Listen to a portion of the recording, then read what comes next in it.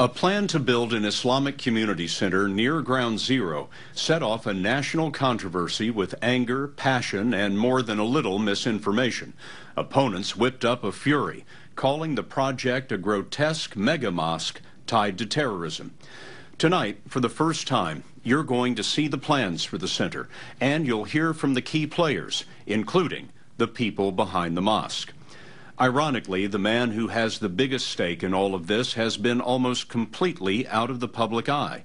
He's the developer who owns the project, and he took us to the spot that his critics call an affront to the memory of 9 11. So, this is what all the controversy is about. It is. This is the focus of outrage. It's a former Burlington coat factory store on a dingy block in lower Manhattan. Real estate developer Sharif El Gamal paid four and a half million for it. So you bought this building roughly how long ago? A year ago. Uh, a little bit over a year ago, July of 2009. And before you bought it, what was here? It was an abandoned piece of real estate. There was nothing in here. Nothing. It had been vacant since uh, since 9/11. Vacant because part of the landing gear from one of the hijacked planes crashed through the roof. El Gamal says he will tear this down to create a 16-story Islamic community center. I don't remember seeing this before. We've never showed it to anyone. What are, what sure. are some of the things you have here? Um, a, a, restaurant, child care facilities, a pool, a media tech library, a, a, a world-class auditorium that will seat up to 500 people. You know. He says membership will be open to all, but around 10% of the space, two floors, will be devoted to an Islamic prayer room. El Gamal is a brash 37-year-old Muslim and lifelong New Yorker who develops apartments and offices. He says he got his idea from this neighborhood center where he was a member the Jewish Community Center. El Gamal thought his project would be a step up for a seedy part of downtown, and the community enthusiastically agreed. The plan was endorsed by the mayor, the borough president, and the community board. But that was last spring. Today, El Gamal is described on the internet as an Islamic supremacist. Who are you? I'm, I, am i am an American. I'm a New Yorker, born in Methodist Hospital in Brooklyn to a Polish Catholic mother to an Egyptian father. Let me make sure I have this straight. You're a Muslim who married a Christian girl. Your mother is Catholic, and you joined the Jewish Community Center on the west side of Manhattan. I did. That's New York, though. That's New York. Show me where ground zero is from here. If real estate is about location, the question is how close is too close? We started at El Gamal's building and headed to the World Trade Center. You can't see ground zero from here, but when you make the corner. The World Trade Center is two blocks over there. In the distance here, you can see the cranes where the new World Trade Center buildings are going up. Yes. It took us another two minutes to walk to the edge of what the government officially designates as ground zero. But what do you say to those people who say that it is painful for them to have the idea of a mosque, even though it is two and a half blocks away? I was affected by the horrific events that happened that day as well. And I do not hold myself or my faith accountable for what happened during that horrific day. Of course, the national argument isn't about measuring the length of two city blocks. It's about the distance between perceptions. If you believe Islam is a moral religion hijacked by terrorists, proximity doesn't matter. If you believe Islam condones 9-11, this is too close. It got the unanimous approval of the community board. Yes. The people who live down there. Well, how did this become your business? Well, it, it, um, it's not my business, it's America's business. Pamela Geller is a key figure in all of this. She is the Islamic Center's most ardent opponent. Geller is a former New York media executive who writes a politically far-right blog that mixes news, opinion, and conspiracy theories. We live in a multicultural society, a pluralistic society, with all different kinds of people. And how do we do that? We do that by getting along. and you don't build a 15-story uh, mega mosque at ground zero and, and talk and say that it's healing and say that it's outreach. Don't spit in my face and tell me it's raining. Last December, Gellers appears to have been the first blog to rename the community center the Mosque at Ground Zero. Five months later, in May, a committee of the Lower Manhattan Community Board approved the project unanimously. Hi, I'm Pam Geller with That led Geller to organize a protest at the next board meeting, but all the same, the board approved the project again, 29 to 1. Then, on June 6th, Geller held a rally at the World Trade Center. By late summer, the community board had approved the center four times, but major media had picked up Pam Geller's label, and across the country, politicians exploited the debate. As governor, I will use the power of eminent domain to stop the mosque.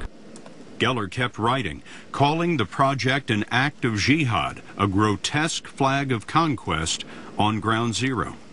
To what degree are you obliged to tell the truth in your blog? That's all I do is to tell be the truth. accurate in your blog. Okay, Scott. You move the mosque to ground zero. It's not going to be there. That it was building never is intended ground to be there. zero. And I'll say something else. Truth is the new hate speech.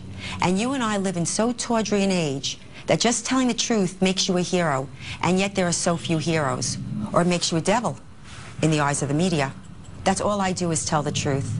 You think you're seen as a devil in the eyes of the media. Absolutely. You don't seem to mind that too much. I do mind it very much. What am I going to do? Shut up? You're never going to shut me up. We will prevail. She's been her loudest, condemning the head imam of the Islamic Center, the spiritual leader. She described the rhetoric of Imam Faisal Abdul Rauf as ugly, racist, anti-American, anti-Semitic. You've been called a jihadi, a friend of terrorists, a man who can't be trusted. So who are you? I'm a man of peace, Scott. Allah. Imam Faisal Abdul Rauf has led a congregation 12 blocks from the World Trade Center for nearly three decades. The reason why there's so much antipathy to our faith is because of the radicals, the suicide bombers. That is not Islam. We reject it. Born in Kuwait, he's been an American citizen 31 years. Most people don't know it, but he was picked by the Bush administration to travel the Muslim world explaining the virtues of America, and he's still doing that for the government today. Now, he's afraid there's a danger this controversy could lead to violence. I wonder if you understand why many families who lost a loved one on 9 11 are hurt by this. I'm extremely sensitive to the feelings of the families of 9 11 Then why did you do it? because we wanted to prevent another 9 11. We wanted, to, we wanted a platform that would enable us to speak, to strengthen the voice of the moderates. If you are so deeply concerned about the danger in America and the danger abroad, why not just move it out of the neighborhood? because it's the right thing to do. It's the right thing to do. Our community wants it. And now America needs it. And the Muslim world needs it. What do you mean America needs it? Bec- I'll tell you why, Scott.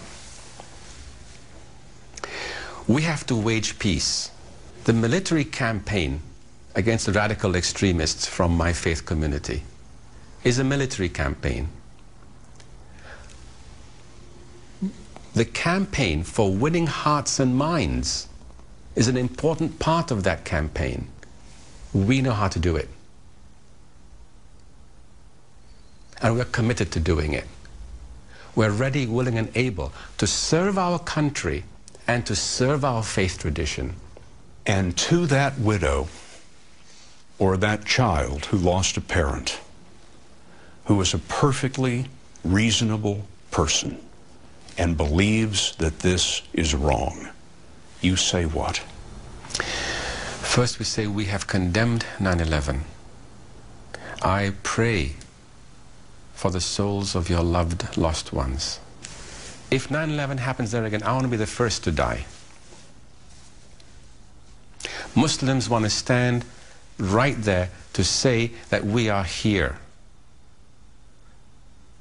It's my duty as an American Muslim to stand between you, the American non-Muslim, and the radicals who are trying to attack you.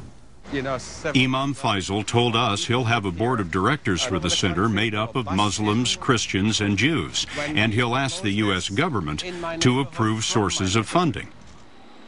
It occurred to us that there is, of course, another ground zero. 184 people were killed at the Pentagon on 9 11. This face of the Pentagon was rebuilt, and a memorial and Pentagon chapel opened on the spot where the airplane hit. For eight years now, every weekday at 2 o'clock, you can hear the Islamic call to prayer in this chapel. Allahu Akbar, Allahu Akbar. Allahu Akbar. Every faith is welcome. Islamic servicemen and civilians are among those who use this chapel most often. The Pentagon chaplain in charge is Colonel Daniel yes. Mingeris. I think this is representative of America. Again, not just again, not just Army values, but what America, the best of what America represents, that various groups, various faith traditions can all use the same building. We understand each other better and we support one another. And there is nothing inconsistent about hearing the Islamic call to prayer at ground zero at the Pentagon. Not for me, there isn't. Back in New York, the developer doesn't need permission to go ahead. He's free to build if he can raise the money, which could be as much as a $100 million. And this is the prayer space. This is the prayer space. Can we walk down there? Yes, we can. One thing most people don't know is that the prayer space part of the project already exists. Hundreds of Muslims have been worshiping in the abandoned building for more than a year, ever since a nearby mosque lost its lease. The mosque near Ground Zero is a fact. The only question is whether the community center will go ahead. The Islamic Community Center will open. God willing. Tell me what you intend. I intend to see this project succeed.